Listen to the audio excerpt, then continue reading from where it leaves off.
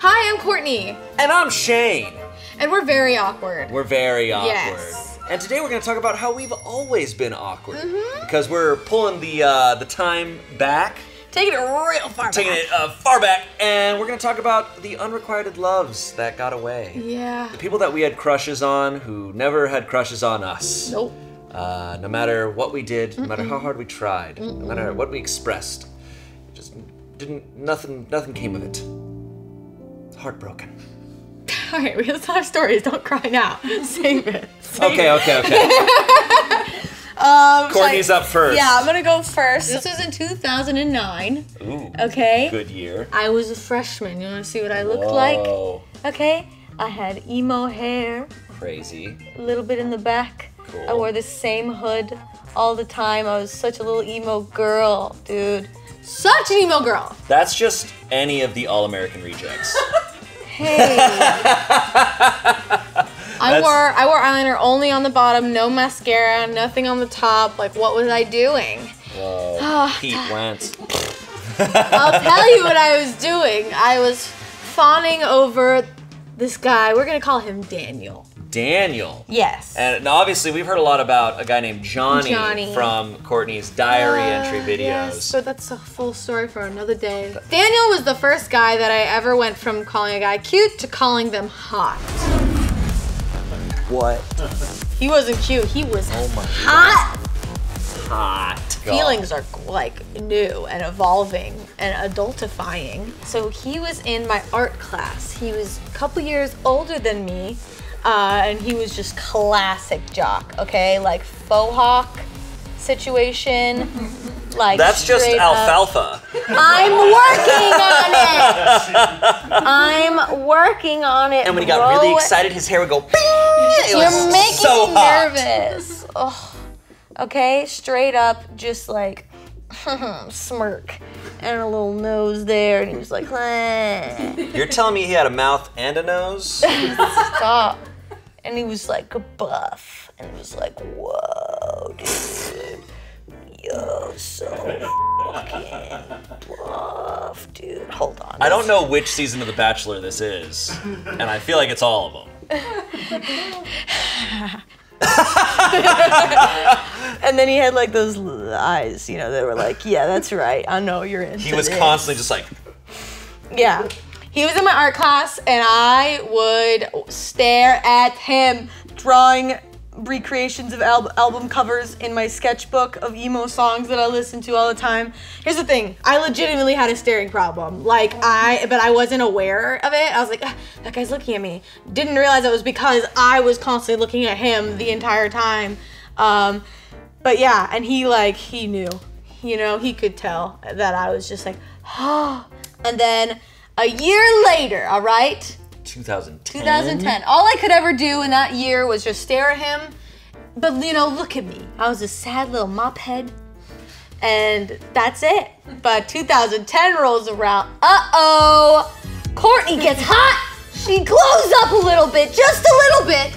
She's happy now. Uh, and I started hanging out with a new crowd. And then one night, and like literally, this guy ignored me up until this point. I would do whatever I can. You know, when you like do something as if everyone was watching, like even driving, you're like, like so I'd be going up and sharpening the pencil and being like,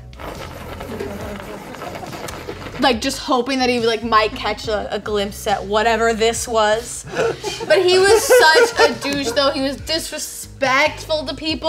But I was like, so hot. Um, Wait, was he good at art? No, Oh. it was beginner's art. He was like, "Hey, Courtney, I did a self-portrait. Uh, what do you think? I worked really hard on it. Do you think it's Do you think it's good?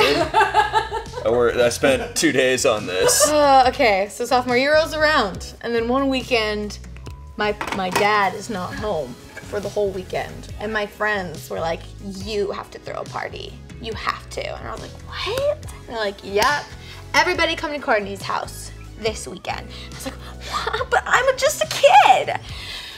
Party happens, and well, the party happened. the party happens. There's balloons and stuff. Okay, what kind of party? What did you throw? No, I don't know. You know, it's very last second. Crazy party. So I got a pinata. there's red cups, you know, Oh, red solo cups. red solo cups, and uh, turns out the seniors were coming. Exhibit A. They Oh, showed no. up, and you know, I w- watched him all night. Watched him all night. I was wearing. I was wearing. Who wearing. threw this party? Her. I was wearing these boots that I thought were so cool. They were like knee high heel boots. Like, definitely did not match with my red and black flannel that was up here. And so he's freaking there, right? He's got his red solo cup just hovering next to him because he's magical like that. And, uh, Perfectly balancing it on yeah, his shoulder. on his massive shoulder muscles. I was dying. I could not believe he was in my house. I remember seeing them walk in, and I ran into my bedroom, and I was like, Daniel's here! I almost said his real name. And wouldn't you know it, he ends up being one of the last guests at my place. And next thing I know, he's sitting next to me on my couch. And then the next thing you know, he kissed me. Wait, what? Yeah. I was very shocked after he, he we kissed and then he left and I was like, what? He knew who I was? Was it just because I was cool because I had a party? Was that it? Was it only because I got hot over the summer? I don't know. Um, and I was like, oh my god, this could be the start of something. This is amazing. Then winter break. It, this is all during winter break, by the way. Winter break happens. Come back. He acts like I don't exist. I do not exist. We even did a sport together. We literally ran. You know this guy loves sport. Yo, his his nipples had muscles, bro. Like they were, like he was a tank. He did multiple sports. It's very graphic. Yeah, that's a lot. Found out that he had a girlfriend that went to another school also, but like literally didn't barely spoke to me ever again. That's it. You just... Um, well, I mean, then years later, I see him out of high school, and then he's like, he's like one of those like beer gut, peaked in high school Ooh. types at like some random party. So, I okay, wanted it to be it. more, I got it. but it wasn't. Wasn't more. I know, but I did get a little lucky. You got something. All right. Okay. Um, most of my life is the tales of stories like this. Uh, I was a very lonely person throughout most of my teenage years, but that began in roughly seventh grade. Was when I first started to be like, you know, in elementary school you have crushes, but then in seventh grade was the first time I was ever like. Uh, so from second to uh, sixth grade, uh, we were at a, uh school that taught kindergarten to eighth grade, right? So you were in the same place that whole time. I the school was built when I was in second grade, so that's when I started. And it was the same students in this whole school for most of my elementary school time. So sure, I had crushes on a couple of my classmates, like little silly crushes. But then in seventh grade, we got an influx of a bunch of new students. There was this girl who joined our uh, who joined the school. She was in my band class. I played alto saxophone, ladies, Oh my god! and and uh, I believe she played saxophone as well. Did you guys like touch sax? Wow, that's a really funny joke for people who aren't in band and know how serious saxophone is. Um, uh, but she was in my band class. She was also in uh, science class in the final period of, of class. So let's call her Beverly. And man, the first time I saw Beverly, I was just like, oh, uh, she was so, so cute. Like, and it's very like, What did you look like? so I looked sort of like this. Hold on one sec. Do green. Oh, big head. Okay. oh my god. I had spiky hair. He put in that dep. Uh, one second. Aww. So that's a little what I look like. Uh, Holding I a had my saxophone. Um, I was awkward. I had spiky blonde hair. Um, uh, I was probably wearing a, a hand-me-down Abercrombie and Fitch shirt from one of my brothers. And uh, yeah, I was very awkward. I was a very awkward kid in seventh grade. Um, uh, was just still trying to like build up my humor, trying to be funny. Wow. But it wasn't good. So I, I definitely back in this was still in the time where I would say jokes like uh, here, I would just yell crazy shit out, but it was often met with just what? Just not, not. That would- still still happens. um, Beverly was like, she was blonde, blue eye, like very stereotypical, right? But I just was like, oh my god, she's so cute, so freaking cute. And I immediately, it was the first time in my life where I was like actively trying to talk to someone. You know, normally, normally I would just have a crush on a girl and just be like, I have a crush on her, but I'm never gonna talk to her. Yeah. I'm gonna go about my life as normal and That just and just hope that someday a magical being brings us together. Uh, Were you like, oh my god, she plays sax too? That's why I love her. no, not. I mean, it was more that I was like, what a crazy coincidence! Ah. We're both, we both have science class and band class together. It must be fate. But I would often just be like, trying to like say jokes to her or something like, and they were just so bad. And but she was such a nice person that she was often she was laughing so much at my jokes that I was like, oh my god. She's like, cool. Help me. Uh, no. know. She was a genuine, looking back, she was a genuinely sweet person. So I think she was laughing at my jokes and she was like, "Eh, yeah, like this guy's being nice. And I was, I was trying to flirt, but my flirting was just being nice and being funny. And uh, so over the months, it was just still like, it just never really progressed anywhere because all I was doing was just being nice and funny to her in our classes together. And I would often like before class, like if she was waiting outside of class, I'd be like, "Oh, what's up, Beverly? Oh, cool. So, class is soon, huh? Crazy. Yeah. It's like what's what's up with science? You know, science is so dumb. like I would just I don't know what my jokes were, but they were bad. And uh, Oh man, I wish you remembered one. I don't think I do. Was it like ones that you'd read elsewhere, or was it like was it like one line? I think I probably would slip into like bad impressions, be like, "Wow, it's science! Can't wait for science!" Oh my God. Christopher Walken. Yeah, yeah. Uh, oh my god. Okay. I did not fail that test. Bill Clinton. I hate. What's up? And Beverly would be like, "Oh, it's awesome." Um, but and then looking back, or even at the time, then like guys like this would walk by, and she'd be like, "Hey, Mark, what's up?" Like, and would just be so enamored, and I'd be like. Cool. Like, Oh, sing. no. all right. Yeah. Cool. But I never was mad about that. I think I was always just like bummed. I was always just like, oh yeah, no, there's no chance. There's no chance. My, but one of these days I'm gonna say a joke funny enough. Oh. so there eventually came a time, and this is the this is one of like the most like distinct memories of just like remembering what's important in life. Uh, there was Wow. a time in science class. Uh, another one of the an, another person who'd played saxophone with me since fourth grade was one of my best friends. We'll call her uh, Allie. And Allie was literally one of my best friends. We we were so close. We could talk about anything. Um, she kind of knew, like she kind of could see how I was, and she would just be like, "Oh my god, like." What? Why are you fawning over this girl that is not paying attention to you at all? Um, and uh, there came a time in science class where I had, we had to pick. We were gonna go split into groups of three to work on this project for like for like a couple months. And so I was the last person in the class. wasn't in a group. There was a group with with Beverly and another person, and Allie and another person. And it was like you got to choose. I'm like I have to choose between one of my best friends or this girl that I have a massive crush on. and I oh, I played boy. dumb and and Allie looked at me and she was just like. She knew. Oh, she knew oh, what I was gonna like, do, and. I, I, I did this whole thing. I was like,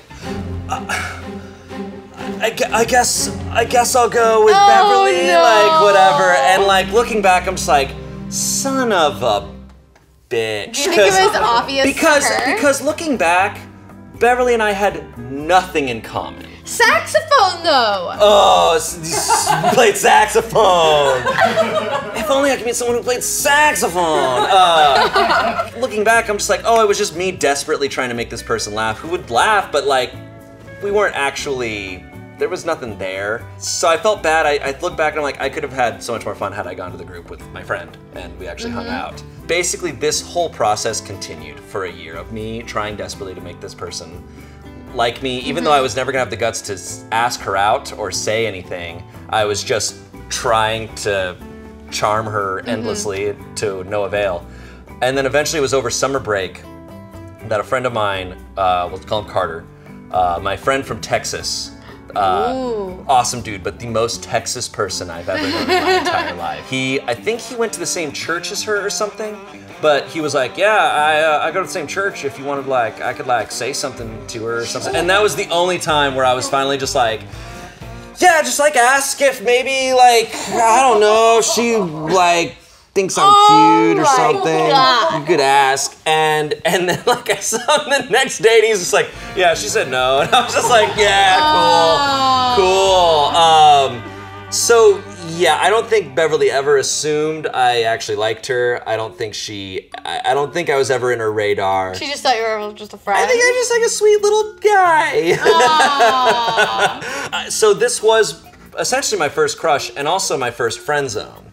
And but I I think the point I wanted to make and why I wanted to bring it up is because I think the friend zone is complete bull. it is. It doesn't really exist. And uh, I don't know. For one, it's dumb because I never. It took me forever to even tell her that I liked her, so it's very easy for her to probably have not assumed. Yeah, I don't even think because like maybe you weren't like officially friend zoned because like I mean not until the very end, Right. but yeah. Right, but even being friend zoned is not something to get upset about because I'm like, that's someone who views you as a friend, and if you don't like that, then then you're not their friend, and you should stop being their friend, and it's you're only being nice to them for shallow reasons. Nice. Did I get it? We've got a lot of flies around here. Yeah. Uh, we have like four dead bodies. We're just trying to save for a rainy day. yeah. I have I have something that kind of ties these together Okay. because it's interesting. Uh, this was an unrequited crush story for a long time. This was a like crush for a long time. This is what happens when you, nothing happens. You like you it never happened and it was like kind of sad or whatever. Even when you when what you want to happen does happen, it's not always what you amounted up to be in your head. This person that you're expecting is the perfect person. Like you don't want to don't get too hung up on somebody, you know. No. I mean, uh, It's not worth it, especially when you're if you're young watching this. I'm telling you, man, like things change, and uh, I feel like friend zoning doesn't happen as much. You know, I'm 28 now. I feel like it doesn't happen as much now because for one, hopefully as you get older, you will be better at uh, be, being honest with people and and and, and Communicating and also just like reading people better. But also, I think people are just more blunt in an older age, and. Uh, or just slide in the DMs right away yeah, and but, the answer's but, there. but also like if someone's not interested in you in that way, like then you don't want to be with that person. You don't ever want to be with someone who doesn't feel that way. Yeah. It's a, that's a waste of time. Because I know so many guys nowadays are thinking, oh, girls only go for guys like this and whatever. It's just not true. You're Mm-hmm. gonna meet the right person eventually. Focus, like there's so much to life on your own. There's so much you have to work on. And the irony is that being able to handle rejection shows so much confidence, and that in itself is attractive. Mm-hmm. Not being able to handle rejection is making you less attractive. And also, Rose-colored glasses, dude. also yeah, because looking back, looking back at Beverly, I'm like, you know, not not dissing her. Anything, Basic. but I'm just like, I'm like, oh, it wasn't. I've I've dated people just as amazing, and like you're gonna date so many different types of Mm-hmm. people over the years if you keep your mind open as well. And also, you might have been a Beverly at some point, and you'd never know. Ooh, You would never know. You would just not know. So you'd think, ah, nobody likes me and stuff, but someone might. I was a Beverly. I'm or or has like. I definitely was a Beverly a couple times. It happens, you know. I think it's more common than you guys think, and every single person finds something else attractive. Everyone's a Beverly to someone in some way Mm-hmm. for some reason that they wouldn't think. Yep. Yeah. Yeah. Also, if you play the saxophone, hit him up. He's looking. My saxophone got stolen out of my car a couple Oh, years that's ago. right. But- Your saxophone was stolen My like saxophone recently. was stolen. That you had. I had it in my trunk. I had it in my trunk of my car for Man, years. if you I wasn't picked one gonna up, play it. if you picked one up right now, would you be able to play something? I don't know. I was never that good. Come on. I was never that good. That's the great. unrequited love. Me and my saxophone. That's what the real story's about. How my saxophone got away. Oh no. Ah, anyways. Guys, if you have similar stories that you have an unrequited love story, or if were you a Beverly, let us know in the comments. and we'll be reading like crazy. were you a Beverly, or what was your Beverly that you chased after? Yeah. Who was the Moby Dick to your Ahab of dating? And did you have a Daniel? And how spicy was he? yeah. Let us know. Did his nipples have muscles? Because mine did. But make sure to hit that bell, guys, as well. Yeah, there's that- a bell. Hit that bell and also click this video over here. We selected it for you. It's uh, very spicy. Very spicy. It's basically the best video on the internet. It was rated that It's way. the Daniel of and, videos. And YouTube, YouTube picked out a video for you. Over here, it's the Beverly of It's videos. somehow the best video also ever picked. What did Beverly look like? I can't draw.